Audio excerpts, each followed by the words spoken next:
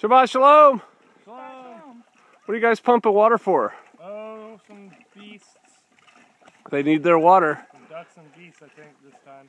How cold do you think it is? In the teens. Yeah, the teens. it was nine when I got up, but that was about two hours ago, so it's probably in the teens. All right, I'm gonna go down here.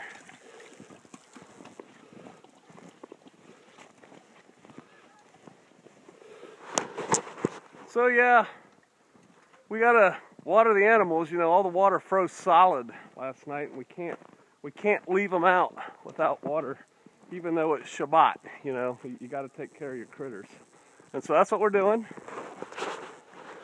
Kind of give you the tour. Woo! It's a little slippery. It's really snowy.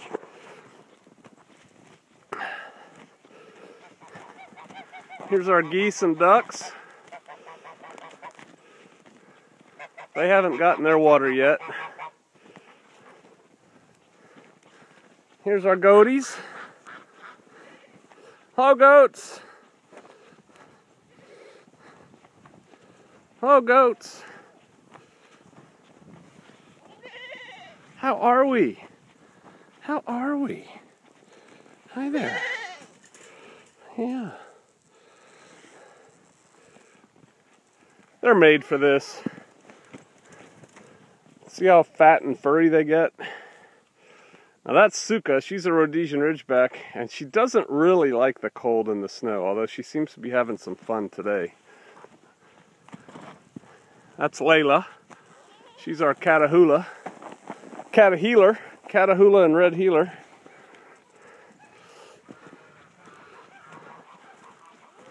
Oh, Sister Kate. What are you doing? Shabbat Shalom. Feeding the dogs? Feeding the big dogs. They get fed twice a day, and right now they eat, uh, you know, Gonna have to talk louder. feed them twice a day. Uh, they eat a bowlful twice a day now because it's so cold to keep their calories up, and then they have a shelter in there and it has straw on the bottom. So uh, when it gets really cold, they go in the shelter and then they sleep next to each other, keep each other warm. Yep. That is Matza. She is our Great Pyrenees Anatolian Shepherd mix. She's not even shivering. You can tell the dogs are very uh, comfortable in this climate Hey, girl. she's not even shivering. And who's that guy over there? That's Hannibal. He's the big male. Uh, He's an Anatolian. He's an Anatolian, and he's on a cable because he can be a little roaming around. He's got that in him, and we want to keep him here. It's safer for him. Suka, come here. Come here. So they both stay in here with the goats right next door. Uh, Mott's has been real, real zealous about protecting her food lately, so we're we're keeping the goats and the dogs separated. But um, once it gets back to normal, probably springtime or whatever, we'll get them all back in the same place, and they can co- coexist. And we're gonna breed Matza and Hannibal at some point. And have some have some.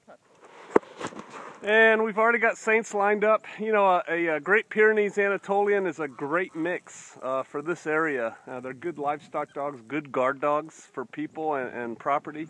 And uh, so we're going to give some away to some Saints and we're going to sell the rest. And uh, we may start calling them Shofar Mountain Dogs or something. All right. Hey, it's a beautiful, snowy Shabbat here in the Ozarks. It's in the teens. The snow has been here now for a day and a half, and it doesn't look like it's going anywhere for at least a week. It's rare, uh, but we like it. I will see you out there.